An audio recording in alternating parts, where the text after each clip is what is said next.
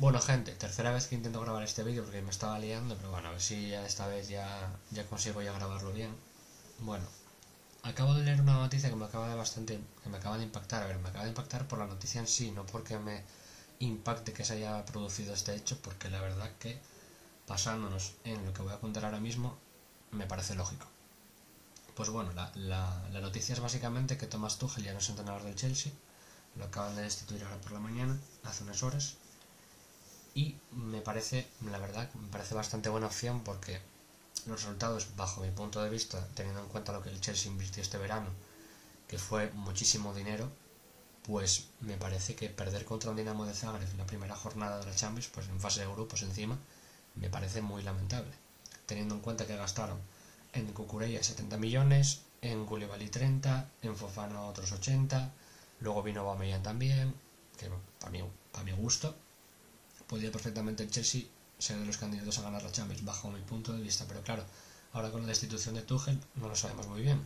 Y aparte que en la Premier tampoco es que vayan súper bien, porque van sextos con tres victorias, un empate y dos derrotas. Que al final, lo que dije, para el equipo que tienen, tienen que optar algo más.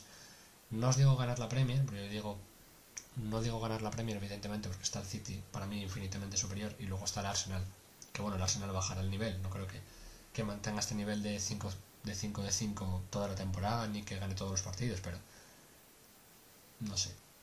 Veremos a ver qué, sustituto viene, porque están diciendo que puede ser Tom Broel y que Tom Broel, si no recuerdo mal, eh, Tom Broel, un segundo en que lo mire, porque no lo sé de memoria, perdonadme.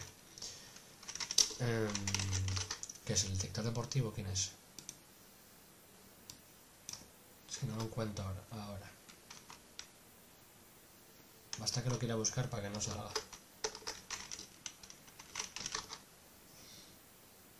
No me sale, pero bueno.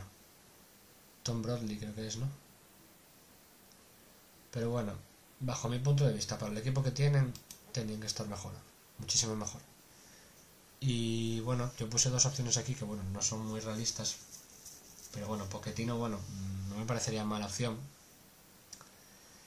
Y luego otra opción a mí que me gustaría ver ya en un, en un equipo. Siempre me encantó ver a este entrenador en un equipo, pero que no va a ser posible, yo creo es más, creo que a lo mejor hasta se retiró del entrenador, si la memoria no me falla.